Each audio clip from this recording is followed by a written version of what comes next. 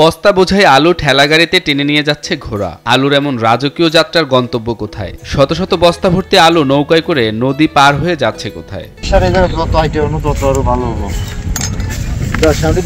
গরুর গাড়ির চল উঠে গেছে অনেক আগেই। তারও আগে বাহন হিসেবে ঘোড়ার ব্যবহার অতীত হয়েছে। কিন্তু এখনও ঠেলা গাড়িকে টানছে ঘোড়া। কিন্তু কেন? এমন প্রশ্ন থেকেই জানা যায় প্রত্যন্ত এই অঞ্চলে ট্রাক বা অন্য কোনো গাড়ি প্রবেশ করতে পারে না বলেই এই ব্যবস্থা। ঢাকার অদূরে মুন্সীগঞ্জের নদী বেষ্টিত বানিয়াল এলাকায় পণ্য পরিবহনে একমাত্র মাধ্যম এখন ঘোড়ার কাঁধে ঠেলার হাতল। ট্রাক আসে না আমরা বাধ্যতামূলক আমরা এই ঘোড়ার গাড়ি জানি আমাকে সুবিধার কারণে এখনও ট্রাক আয় না মাল নিতে আমাকে অসুবিধাতে ঘোরা করা আমরা নিতারি না এক্ষুনি ঘোরা আদতে রাস্তাঘাট না থাকা আর অসমতল জমিতে কোনো ধরনের যানবাহন চলাচলের উপযুক্ত নয় বলে বাধ্য হয়ে ঘোড়ার গাড়িতে পণ্য পরিবহন করে নদীর পাড়ে নিয়ে যাওয়া হয়। কোনো বিকল্প ব্যবস্থা না থাকায় ব্যবসায়ীদের কাছে ঘোড়ার গাড়ি আপাতত সবেধন নীলমণি। তিনশো মাল হইলে তিরিশটা ঘোড়ায় একবার লয়ে জায়গা আর তিনশো মাল টলিতে নিলে লাগবো ছয় টলি হারা দিনও পারব না। আর ট্রাক তো এই জায়গায় আসে না।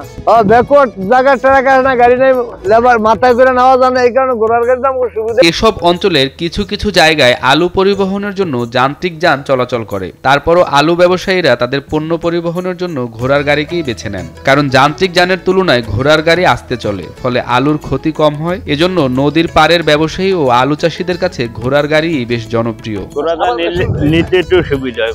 নিলে কম পায় জরিপ কম পায়, এই জন্য নিলে একটু সুবিধা মধ্যে তো আনতে নিতে সমস্যা, এই জন্য প্রতি বছর আলু তোলার মৌসুম শুরু হলেই মানিকগঞ্জ টাঙ্গাইল পাবনা ও রাজশাহী জেলার বিভিন্ন এলাকা থেকে ঘোড়ার গাড়ি নিয়ে মুন্সীগঞ্জে ছুটে আসেন শ্রমিকরা। সারা বছর কদর না থাকলেও আলু তোলার মৌসুমে এসব ঘোড়াওয়ালাদের চাহিদা অনেক বেড়ে যায়। ঘোড়ার কাঁধে ঠেলা গাড়ির হাতলকে তুলে পণ্য পরিবহনের কাজ করে কয়েক মাসের জন্য জীবিকার পথ খুঁজে পান তারা। শীত সাত আট দিন চলে বাড়ি মানিকগঞ্জ জেলা দোলপুর থানা।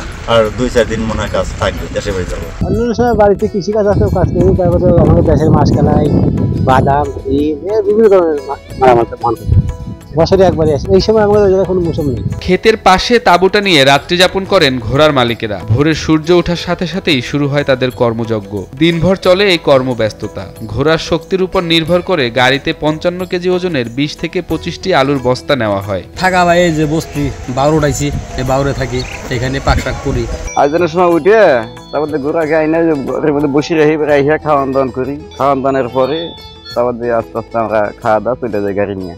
তারপর সারাদিন কাজ করি। কাজ করে নৌকায় বস্তা উঠিয়ে দিই নৌকায় তো নামাই। তারপরে আবার এই চত হয়ে যাই দোকানে সবাই মিলে নামান টামান করি উঠেন উঠেন করি সারাদিন কাজ করে তারপরে বাসায় এসে ঘুমাই।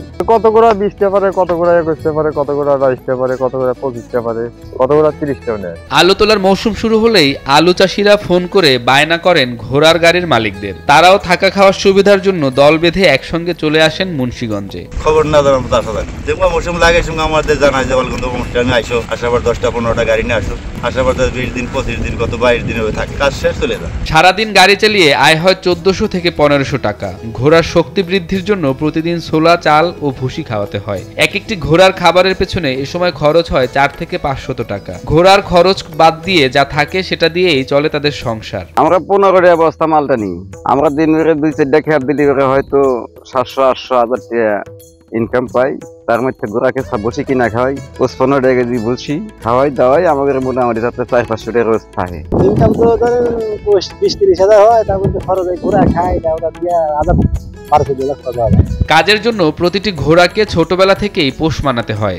ঘোড়াকে শক্তিশালী করতে খাওয়াতে হয় চাল ডাল ছোলা ও ভুসি। ঠিকমতো খাবার না খাওয়ালে ঘোড়া দুর্বল হয়ে যায় এবং কর্মক্ষমতা হারিয়ে ফেলে বলে জানান ঘোড়ার মালিক। আমরা এটি পোষ মানাই। পোষ মানাই এবং প্রথম যখন বাচ্চা থাকে তখন এর কাছে যাওয়া যায় না। খাওয়াইতে খাওয়াইতে হাতাইতে হাতাইতে পরে একটা পোষ মানে পোষ মানলে তখন যা বলি তাই করে। আলাদা কাজ করার জন্য শক্তি দেওয়ার জন্য গুড়ারে আমরা ছাল করিয়া মনে করেন ছোলা কুড়া মসুর ডাল চাউল এইসব খাওয়াইতে হয়। যদি না খাওয়ান তাহলে কি হবে না খাওয়ালে ভাই শক্তি কমে যাব কাজ করতে পারব না। শ্রমিকদের পারিশ্রমিক দেওয়া হয় বস্তা আর দূরত্ব বিবেচনা করে। বস্তা প্রতি দূরত্ব ভেদে আয় হয় পনেরো থেকে তিরিশ টাকা। এক চর থেকে আরেক চরে আলু নিয়ে ছুটে বেরিয়ে ভালোই রোজগার করেন মৌসুমী এই শ্রমিকরা।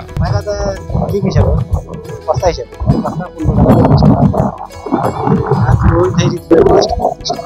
ঘোড়ায় পণ্য পরিবহন করে যে আয় হয় তা দিয়ে ঘোড়ার পরিচর্যা খাওয়া যেমন চলে তেমনি এই ঘোড়াকে খাটিয়ে চলে তাদের সংসার, ছেলে মেয়ের লেখাপড়ার খরচ। আমি পাঁচ বছর থেকে গাড়ি চালাচ্ছি তা ওর ইনকাম যা আল্লাহ আল্লাহ পাক যা দেয়, এটাই আমার সংসার। চলে মকসল বল, বাঁচে।